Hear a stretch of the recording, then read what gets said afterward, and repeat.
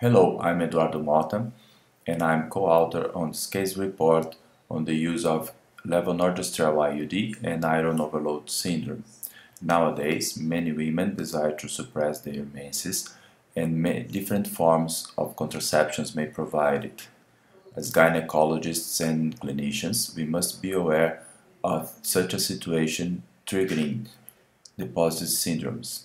Enjoy your reading.